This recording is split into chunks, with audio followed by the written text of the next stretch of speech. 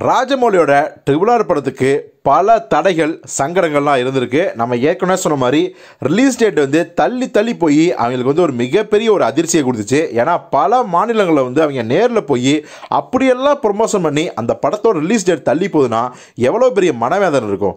ஆனால் அதெல்லாம் கூட பரவாயில்லன்னு சொல்கிற மாதிரி திடீர்னு அந்த கவர்மெண்ட் வந்து டிக்கெட் ரேட்லாம் ரொம்பவே கம்மி பண்ணிட்டாங்க. உடனே ராஜமௌழி தரப்பு என்ன பண்ணாங்கன்னா தயாரிப்பு தரப்பும் இயக்குனர் ராஜமௌழி தரப்பும் அந்த முதல்வர் ஆந்திரா முதல்வர் ஜெகன்மோகன் ரெட்டியை பார்த்து பேசி இவ்வளோ பெரிய பட்ஜெட்டில் நாங்கள் படம் எடுத்துக்கோம். தயவு செஞ்சு கொஞ்சம் பார்த்து செய்யுங்க அப்படின்னு சொன்னதால் அவர் வந்து சில ரெஸ்ட்ரிக்ஷன்லாம் கொடுத்துக்காராம் என்ன அப்படின்னா அந்த டிக்கெட் ரேட்டை ஓரளவு நீங்கள் ஏற்றி வச்சுக்கலாம் அப்படிங்கிற மாதிரியான ஒரு விஷயத்தை வந்து இவங்க அவங்கக்கிட்ட கெஞ்சி அந்த பர்மிஷனை வாங்கியிருக்காங்க.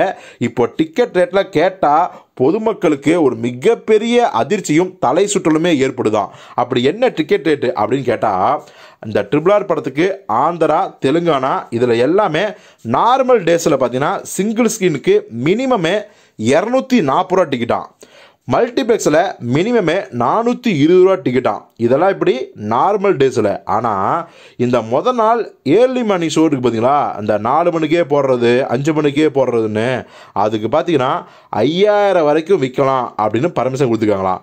இது இந்தியாவில் யூஎஸில் எப்படி தெரியுமா?